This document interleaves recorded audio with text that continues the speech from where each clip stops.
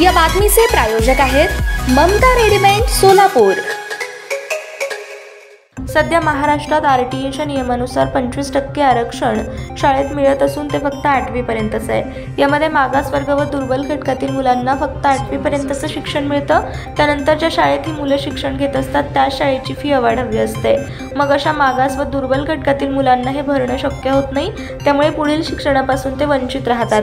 सध्या गुजरात राजस्थान मध्य प्रदेश अशा ठिकाणी आर टी मधील विद्यार्थ्यांना बारावीपर्यंत मोफत शिक्षण करण्यात आलं आहे तसं आपल्या महाराष्ट्रातही लागू करण्यात यावं त्याची सुरुवात करण्यात यावी.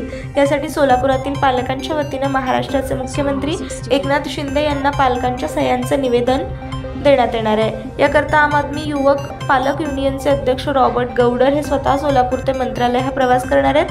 व आर टी ईच्या विद्यार्थ्यांच्या समस्या मुख्यमंत्र्यांना सांगणार आहेत. यावेळेस आम आदमी पार्टी सोलापूरचे कार्याध्यक्ष ॲडव्होकेट सागर पाटील असलम शेख आनंद जाधव मल्लिकार्जुन पिलगेरी अल्ताफ तांबोळी जाफर मदनी आदी पदाधिकारी उपस्थित होते.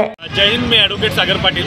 आम्ही आज आम आदमी पार्टीतर्फे आमचे शहराध्यक्ष असलम भाई आम्ही रॉबर्टजींना जे आम आदमी पालक युनियन आहे त्याला शुभेच्छा द्यायला आलेलो आहे. रॉबर्ट भाई आज सोलापुरातून सायकलीवर मुंबईला निघालेले आहेत. आणि त्यांचा मूळ उद्देश असा आहे की आर टीच्या अंतर्गत ज्या शाळा आज सोलापूरमध्ये आहेत त्या शाळांमध्ये जे शिक्षण दिलं गेलं आहे त्यामध्ये प्रचंड भ्रष्टाचार आहे. सर्वसामान्य विद्यार्थ्यांना चांगल्या दर्जाचं शिक्षण दिलं जात नाही. जो मुलगा आर टी मध्ये ज्याला ॲडमिशन मिळालं त्यांनी असं काय गंभीर प्रकारचा गुन्हा केला का काय अशा हे प्राचार्य आणि तिथले जे शिक्षक आहेत असं वागा लागलेत? पालक हताश झालेले आहेत निराश झालेले आहेत. आम्हाला यांना सांगायचं आहे आर टीचं जे शिक्षण आहे हे विद्यार्थ्यांच्या हक्काचं आहे. त्यांना दुय्यम वागणूक देऊ नका. अन्यथा आम्हाला देखील याच्यामध्ये उतरून तीव्र आंदोलन छेडावं लागेल. मी आम आदमी पालक युनियनला युनियनला शुभेच्छा देतो आणि यांना सांगतो की तुमच्या ज्या मागण्या आहेत ते रास्त आहेत. दिल्ली आणि पंजाबमध्ये बारावीपर्यंत पूर्ण शिक्षण मोफत आहे. मग तिथं जर शिक्षण मोफत होऊ शकतं पुस्तक लत्ता वगैरे सगळं ते मोफत देऊ शकतात तर हिथं सरकारला काय अडचण आहे?